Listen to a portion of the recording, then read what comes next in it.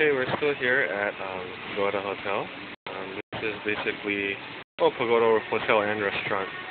So, as you can see, this is a water, um, some place to eat for your dinner or lunch, or all that stuff. And here's a guy carting all the condiments, getting preparations for pretty much um, a meal that's coming in tonight, or a party that's coming in tonight. So. Other than that, yeah, there's um, lots of fish, and we're looking for that one uh, big fish called the ulua. It should be coming around here.